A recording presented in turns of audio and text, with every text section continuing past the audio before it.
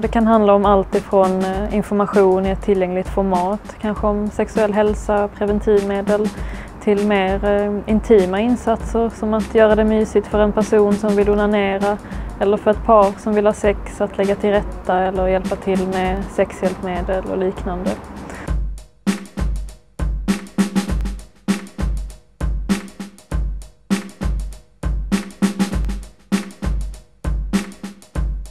Att ens prata om det, att omnämna det, att säga person, sexuell assistans.